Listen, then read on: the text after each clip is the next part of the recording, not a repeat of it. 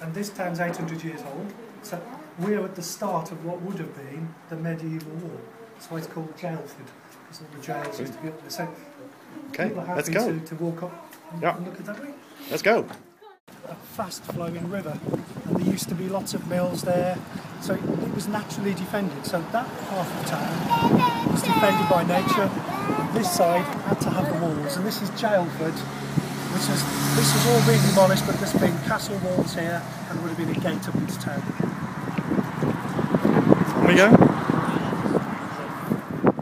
Which probably gives you an idea that along here would have been one of the the portcullises, and this is the start now into the history of historic history of town of Ludlow.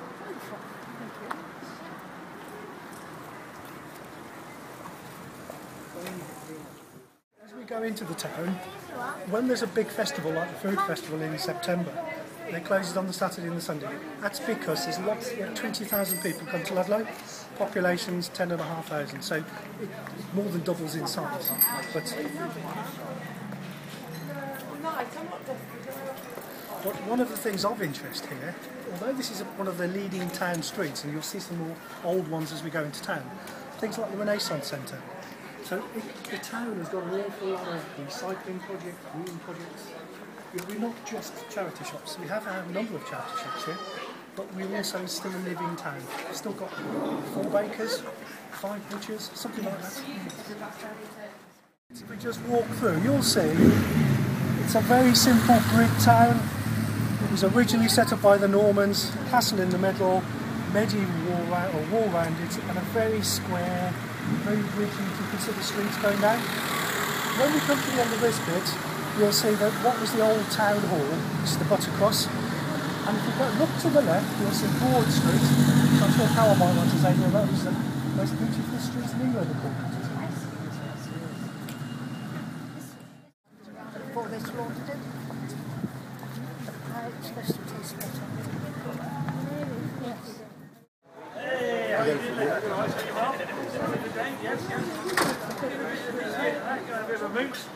Name's Adam. Tickets, Adam. Yes, why that's called Fish Street.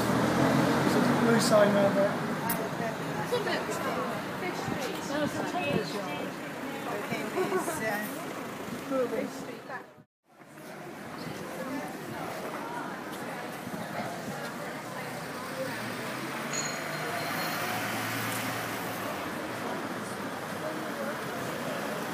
All the time, they've got to do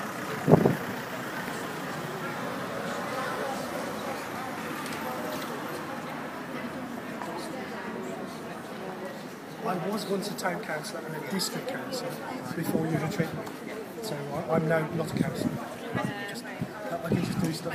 What, the reason why perhaps I wanted to stop here, instead of going through the main town to start off with, where you can see that's the main medieval market. I thought if you just go round the Church Inn not because my mate owns the Church Inn but then you'll get a glimpse of Shall we go in? I've got time to go into the church where I used to preach. So I just think absolutely the church to actually see the church where all the, the guilds were, the town made its money on the wool trade. So I think to go that way before we go through. After you go. There's a group in the town that do regular tours. Right, okay. And there's a couple of chaps who do ghost tours. They were quite fun. I went to one at Whitby and they sell, tell similar stories but about Ludlow. Brilliant. They haven't got many fishy stories here. No. That, the smallest, well, it's a cathedral really. It's, It's it's the largest, one of the largest parish churches, isn't it? absolutely And it's been designated as one of the largest churches, so they have extra funding. I think yeah, if you wanted to, I'd yes, general do. figures.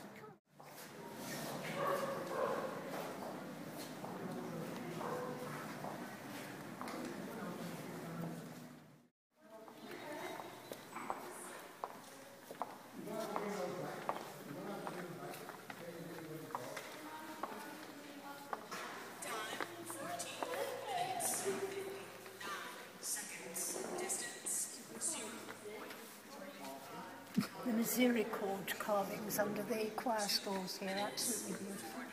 Yeah.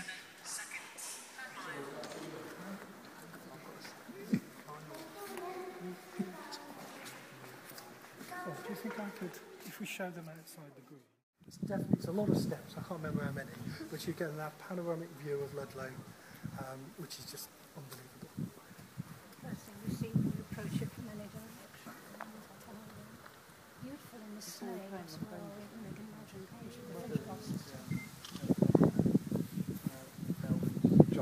Do you want that up again so we get a picture of you?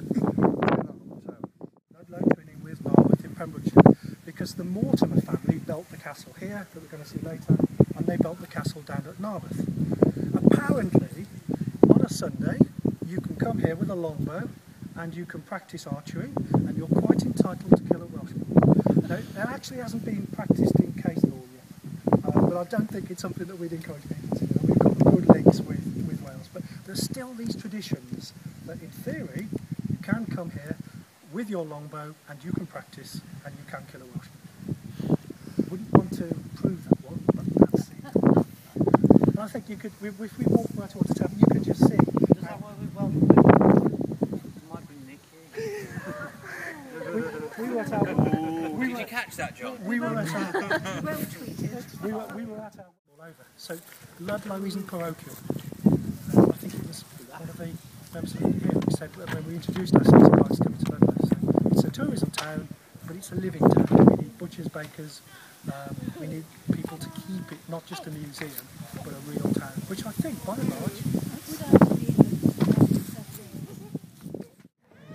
there's little pockets of them where people wanted to put something back. They felt perhaps a duty to do something. So there's still a lot of these properties around. And it's the first time I've walked past the Church Inn without going in it and circumvented it. So there's a first there. It's Grace, one of the finest tea rooms. Mia, away from the road, please.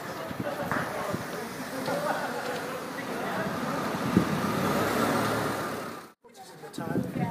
These sausages are the best. They take sausages very seriously. They have a competition every year, and literally people have been shot over. and the best skillies and things, they take sausages very seriously. Carol? Carol, do you want to say a few words about the market? Carol, do you want to explain about the market and Go through it uh, up to the up to the castle. We the market? Graham was saying about a very living town. You can see this from all see within there's still a baker there. So you still have a lot your trades. Something for a baker to do. Lovely. Come on, Nia. Over this way, lovies. Or like the basket maker as well. That's quite nice. Seeing a great basket maker over there. I'll have to straight back in. Sorry, you're right.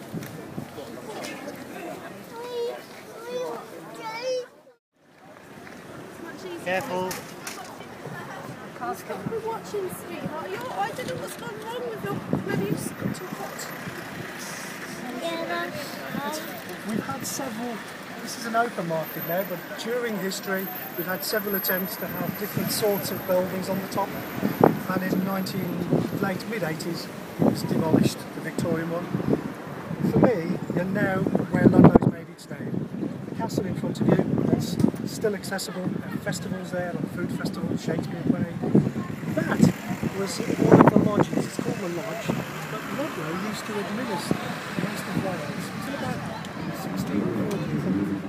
For a good 300 years, this was effectively the provincial town that ran a large area of Wales. The name Marcher comes from, as I understand it, a series of castles within a day's march that allowed a fortified town like Ludlow to you know, move the troops along and you could fortify what was a hostile front with our friends from um, uh, from the other side of Offa's Dyke, which is the ditch between Shropshire, Herefordshire and Powys, which is the Welsh county that borders us. But for me, we've got halfway. It might be worth us going around having a look at the castle, and then perhaps we can have a leisurely walk back. And if there's anything specifically you want to ask, how or I, we can answer your question.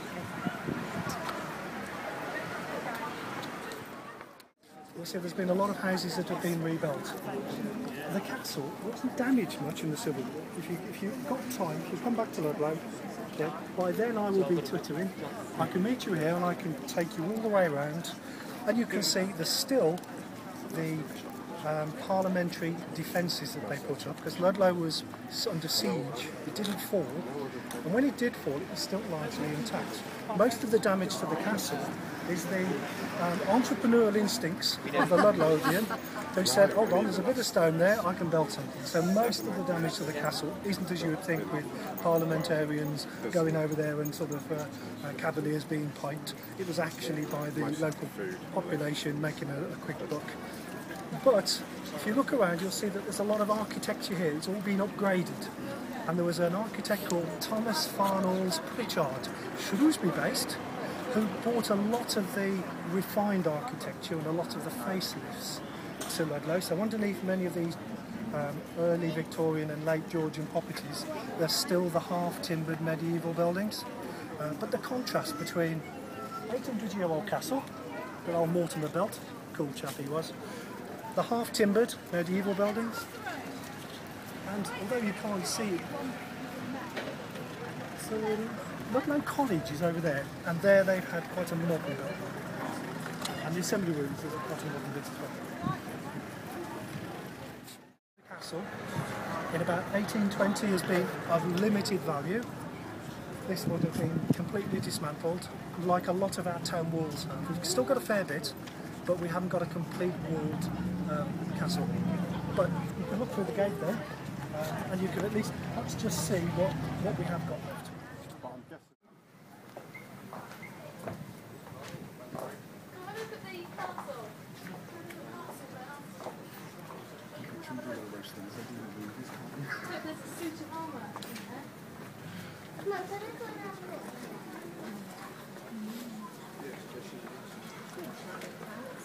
But You?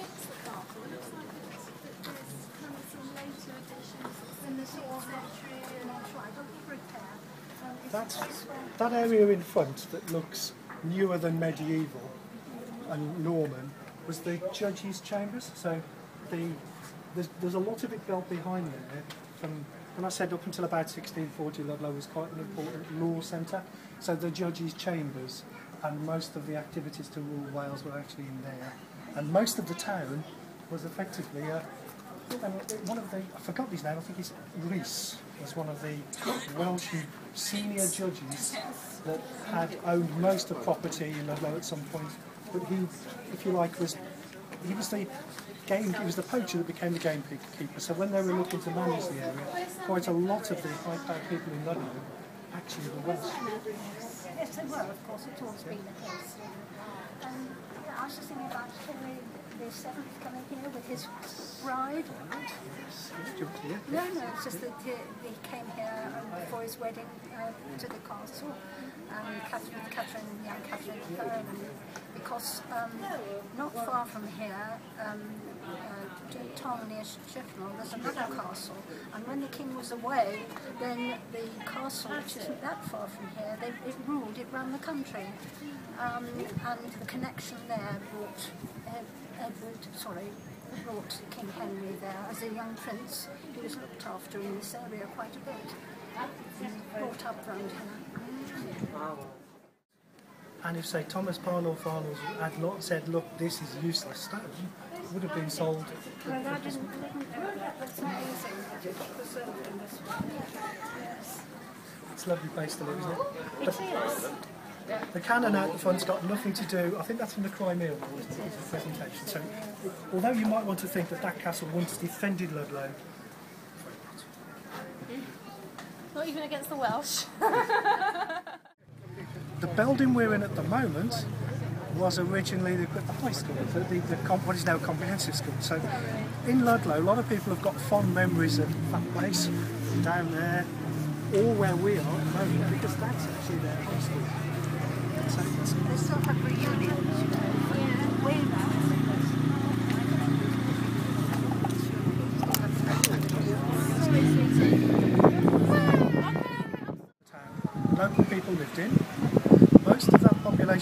Construct new houses out of town. And most of the houses that would have fallen into disrepair have now been bought by people that have moved here. They're now Ludlovians. So in a way, we've got a delicate balance between newcomers and the local population. And actually, most people see Ludlow as a market town. A sunny day, people come into the town. You may not live in the town now. Three generations ago, you may have owned that building and somebody else is, but your job is in Ludlow. Most people Ludlow see that four successful festivals throughout the year, choosing to come here on a day visitors, as you mentioned. It's our economy is still it's tourism, but actually there's still a job for a lot of local people, but I would say that it's potentially low paid. We want to try and get the stonemasons, the furniture makers, the old trades that used to work in marketers, where there's actually if you are a young person, as Nigel was saying in his introduction, where do they earn the money, where do they can afford a house? So if there is a future, then it's, it's that, but Will, the chap who owns this place, Bentley's, he came up from London with his family 12, 13 years ago, something like that. Started his own family business. His kids that eye when came, that. So we are getting new people coming in with families. It's not just a retirement home.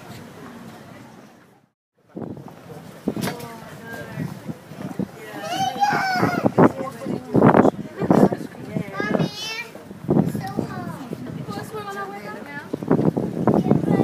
It's just a bit too hot for chocolate.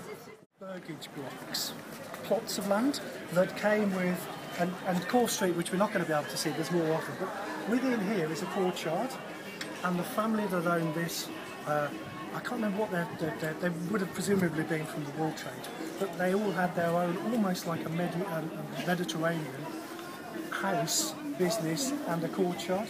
And that is now um, lots of businesses separate, but it would all have been within one plot. And the master of the house would have had everything in his empire beneath him.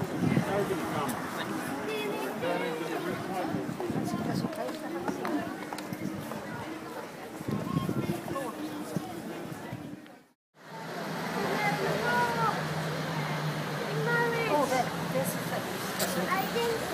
So what I wanted you to see. That is one of the most photographed buildings, particularly by Japanese and American visitors to the. And the balcony at the front was the addition by the then MP, so that would have been been 200 years ago, which isn't the recent MP. That was his house, and he put that balcony there so he could talk to his uh, um, put lots of subjects and explain what he could do. But that is the most the most well photographed I think, other than the church and the castle, constituents probably is a technical between the three, the most photographed places in the UK. Jail bars. Yeah, this, it's the only surviving bit of wrought iron work from about 1510. You're not gullible. No, we're not going to. Hey, nice lady.